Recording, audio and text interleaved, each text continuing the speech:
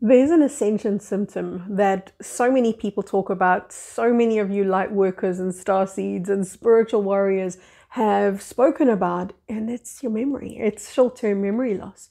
So it's that feeling of walking into the kitchen and very confidently, if you're anything like me, opening the drawer and then go, Oh, what am I doing? And then calling, in my case, my son and going, uh, What did I want to say now? And then, whatever, you know, phoning a friend and going, Oh, what did I want to say? Short term memory loss. Can you relate? I know that you can. If you're a light worker, this is very much par for the course. This is very much what we've grown accustomed to. But what the heck is going on really? Will we ever get our memory back? Is it going to get worse? Is it going to get better? And what's causing it in the first place? And should we be worried? Okay. There's a couple of reasons. Well, there's two, from an energetic perspective, there's two main reasons why your short term memory is misfiring. One of them is for a very nefarious reason. And when I explain it to you, you're going to understand why.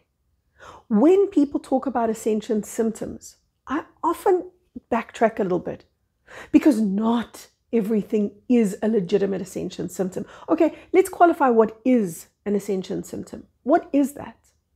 It's the resistance between an incoming energy and your physical body. So the more that you are in trust, the easier it is to work with that incoming energy. The more you are in the lack of trust, which is what? If you are not trusting life, you are then going to control life. That's the ego's ploy. It doesn't make you bad and it doesn't make you wrong. It makes you very, very human. So please be gentle, loving, and compassionate if you notice this within yourself. Oh, wow, I'm not in trust. Okay, then the only other place to be, we live in duality. So it takes a lot of guesswork out of where we're at. If you're not here, you're there. If you're not there, you're here. The incoming energies. So this is the stuff that's new, the stuff that your body bumps into, and then instead of absorbing and embodying and allowing the incoming energy to do what it's designed to do, which is to discharge the stories, the past, the addictions, the densities, the blockages, everything that we've become attached to, instead of allowing for that to happen with ease, which is why some people say, I don't get ascension symptoms, there are those people that try to control so now they are experiencing the incoming energy and at a very deep level. This isn't happening at the level of the conscious mind, this is happening at the level of unconsciousness. They're putting up a resistance to this incoming energy, and it's that resistance that causes what we call ascension symptoms. But not everything is an ascension symptom. I was dizzy for years. For years, I was I was so dizzy, and I would tell people about it, and they would say, "Don't worry about it. It's just an ascension symptom." No, it was actually just diabetes, you guys. I was just really ill, and instead of recognizing that something was wrong, I was in a kind of a, a mind numbed state. Then I did find out find out that I had diabetes way down the line. By the way, my diabetes is 100% cured. Thank you to my amazing diet. But that's why not everything is an ascension symptom. And you know, don't ask in the comment section.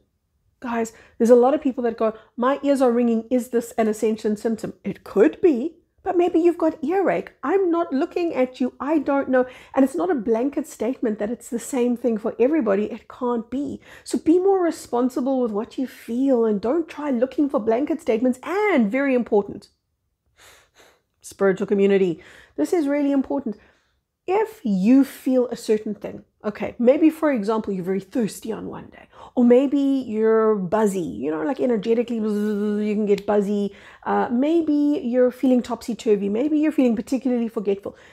I see this daily basis in the comment section. People say, I'm feeling XYZ. Is anyone else feeling this too? Who cares if the whole world is feeling it? Is that going to validate you now? Is that going to say, oh, so now, now I'm okay because everybody else is feeling it? Please learn to feel what you feel. Please learn nobody else needs to feel this for it to be valid to you. Maybe everyone else is feeling it, maybe no one else is feeling it. That should be entirely irrelevant. Okay, rent out of the way. Thank you. Now let's get going. Two reasons as to the memory loss. Reason number one energetic bombardment of the nefarious kind. Our atmosphere, the air that we breathe in, is absolutely bombarded with a very unnatural amount of electromagnetic frequencies. They might be from cell phone towers, and they might be from your router and your modem and your microwave oven, and just the general electricity that you're surrounded by. What we're living in is a very unnatural bombardment of frequency, and they're very unnatural frequencies, and they're meant, they're designed to scramble your energy. And when they do, you're put in fight flight. That's what happens. You go into fight flight, and you're not going to use your energy for the normal things like rest and recuperation and allowing your short term memory to kick in. Your short term memory is going to hit the floor. It's going to totally be overlooked because you're now in survival mode because of this influx of very unnatural energy. And you see why it's been put there. It's been put there because the nefarious ones, who are the archons, you can watch a video on my channel to find out more about them. You can watch a playlist on my channel to find out more about the false matrix and its establishment. These nefarious ones they wanted to offset what they knew would happen. They knew these divine frequencies would come in, but they wanted to flood humanity with non divine frequencies first. So that's why we have this scrambling effect. And that's what's caused the short term memory loss. But, oh, light worker loves, you are the ultimate transformers. You are alchemists. At your very nature, what you are is an alchemist. And you know what an alchemist is designed to do? To transform everything. I just realized I was moving around. Sorry, you guys. There's my microphone. I hope that it didn't make any rustling, hustling, bustling. Sorry if it did. That's very annoying. I'll try not to move. So the where was I? Oh God, sorry, you guys. I lost my train of thought now. Ah, I'll figure it out way too late. So let me just pick up from where I think I was. The nefarious ones wanted to offset the divine light that was coming in. That occurred, and we elevated because of it. The darkness always catalyzes the light. That's the nature of darkness. Darkness will always lift you higher if, if, big if, if you let it if you let yourself grow through hardship, grow through discomfort, that's what darkness is. Darkness is all the density and the trauma and the fear and the survival mode stuff and the fight flight stuff. It's the opposite of light, and light is ease, and light is love, and light is harmony, and light is authenticity, and light is lightness, as in ease of being. As that comes in, it's because of the darkness that we face. So, in other words, because we faced all of this scrambling, it forces us to do something that we wouldn't have done, and that is to find the only one single place where your memory, your short term memory, did work. Do you know where your short term memory does work? In the now. It's the only place that your short term memory works 100% in the now, but the now is not the present. Don't confuse the two. English is such a, and, and just language in general is very much designed to confuse and trick and distort and demean our energetic intention.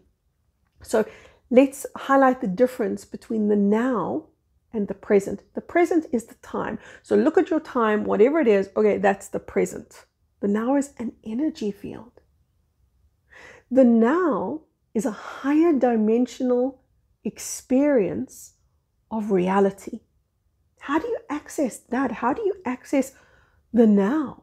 Now, there's actually a beautiful course on my website called Forever Starts Now. So, if you want to go and deep dive into this and get really brushed up on how to access the now, I can take you much deeper in that online course. So it's at kerryk.com in the online shop.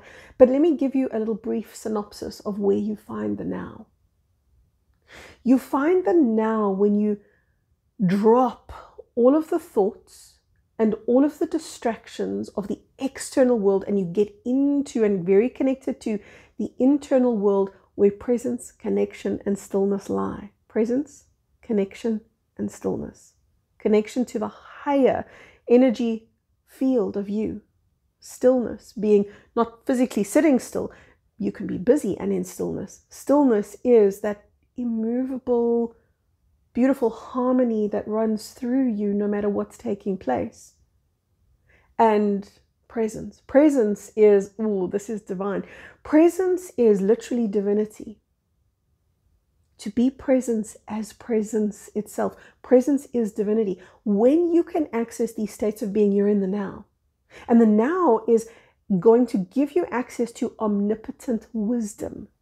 And you feel very potentized in the now. You feel so depotentized and so diluted when you're not in the now. When you're in the future and when you're in the past, you are drained. Drained. A lot of people say to me, Oh God, there's the chorus of my dogs barking. A lot of people say to me, I don't know why I'm so tired. I know. I know why you're so tired.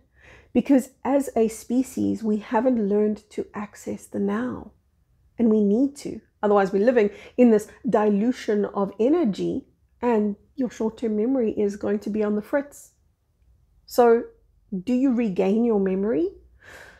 Actually, you do more than regain your memory. You begin to operate from a higher mind, a higher bandwidth, and a higher consciousness almost overriding that which we once called the short term memory. So, your higher consciousness has a very interesting thing. It has a short term memory that is not bound to the past. Listen up. A short term memory that's not bound to time. Hmm? Yeah. When you really learn to immerse in the now, which every single one of you can do, I don't want to make it sound like this very mysterious, out of reach place. It's honestly not. It just takes practice to get in. And I really would love you to practice. And I've given you guys all the teachings and the tools to practice. But let me give you another one. This one is so crazy simple. Watch.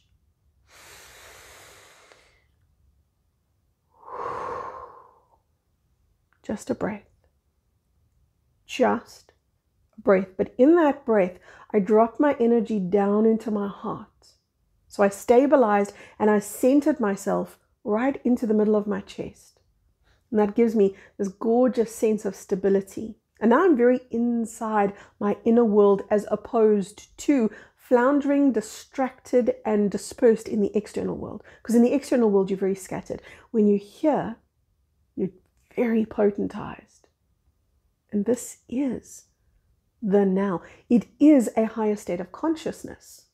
So when you enter in here, you can begin to access your immediate past, which is what your short-term memory was designed to offer you access to your short-term past, but also to your short-term future.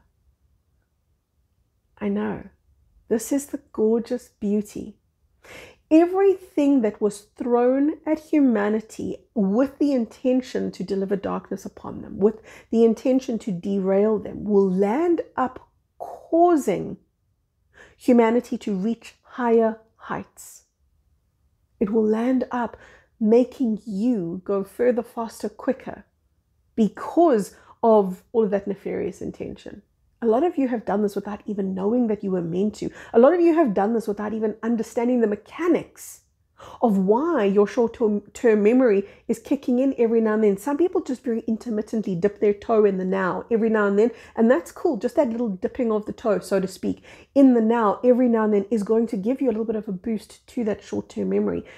Yes, I know you guys can tell me in the comments there's probably going to be supplements that would be very important for you to take and things like that, but you know what? At an energetic level, you can take every perfect thing that you're meant to, but absorb none of it. It's not about what you put in, it's about what you integrate and what you absorb. And honestly, the realignment that works is the energetic realignment because you are an energetic being. So, your short term memory, yes, it's going to come back online. You light workers, you amazing alchemists, you are in the process of transforming the reality that was meant to leave you a babbling, drooling idiot. And I say that knowing that some of you are going to go, Kerry, look at society. Society are kind of babbling, drooling, you know what? Well, some of them can be, okay? Some of them can be because they're under the influence of a spell. They're under the influence of a program of the false matrix and they cannot find their way out of it right now. It's like they're zombified or hypnotized. And well, when I say it's like, they are. That's what the programs of the false matrix were designed to do to render humanity absolutely depotentized. Yet there were light workers among us who found their way, kind of like finding a slipstream into higher consciousness, found their way into the now. And because one did it, two did it, three did it, ten did it, a thousand did it, and so now it leaks into the collective. Watch this video next because this is going to explain a little bit more to you about the false matrix. That's where we've been hanging out. That's why we've had all of the faced all of these things, and it's what we are in the process of transcending from my heart all the way into yours. So much love.